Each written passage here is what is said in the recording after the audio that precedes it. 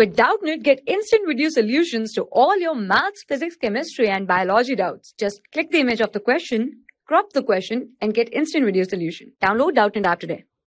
Hello students, in this question we have to find out the determinant of this given square matrix. So over here guys consider it equal to del. So del is equal to over here tan alpha cosecant alpha over here sine alpha cot alpha. Now guys to further solve it let's first we understand few things over here. As we know that tan theta is equal to 1 upon cot theta. If we multiply both side cot theta then we will get over here tan theta multiply cot theta is equal to 1 and similarly as we know that cosecant theta is equal to 1 upon sine theta.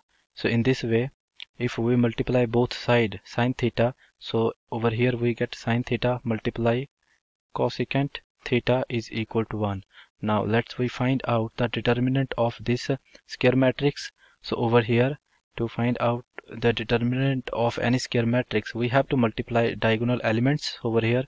Tan alpha multiply cot alpha. So over here tan alpha multiply cot alpha minus sine alpha multiply cosecant alpha. So over here sine alpha multiply cosecant alpha.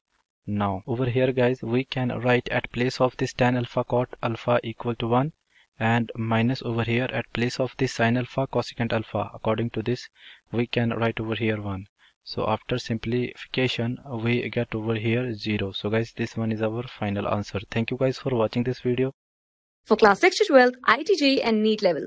Trusted by more than 5 crore students. Download Doubtnut app today.